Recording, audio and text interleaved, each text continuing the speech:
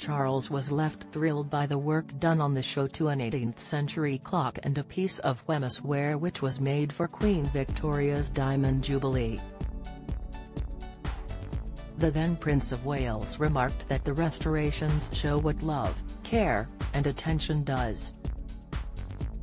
Now the repair shop host Jay Blades has been forced to respond to backlash over whether he broke royal protocol during the filming of the episode last year.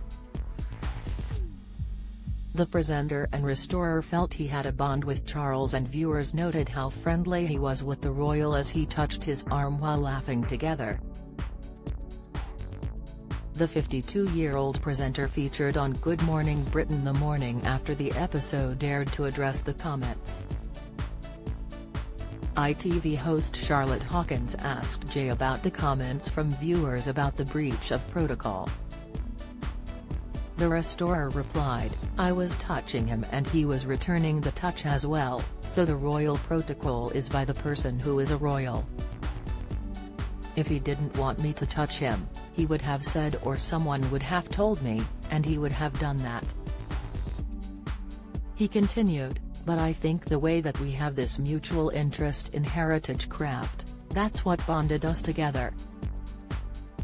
The episode saw the experts restore the chimes to a bracket clock from the 18th century, which is part of a collection at the Prince's Foundation's Dumfries House headquarters. As the restored clock was presented to the king, Jay gave him a cup of Earl Grey tea in an HRH mug which amused the royal. Charles replied, How did you guess?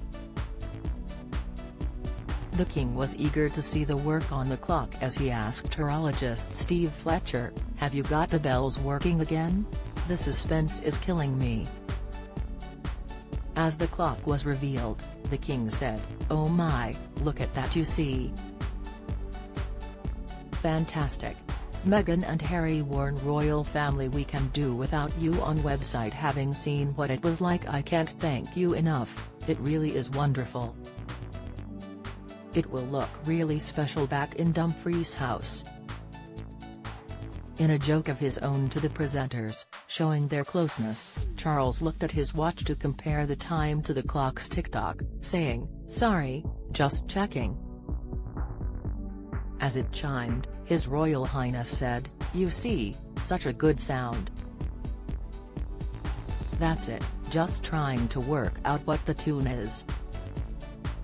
The royal previously stated in the episode that he loves the chime of a clock as he finds it rather reassuring in a funny way and they become really special parts of the house, the beating heart of it.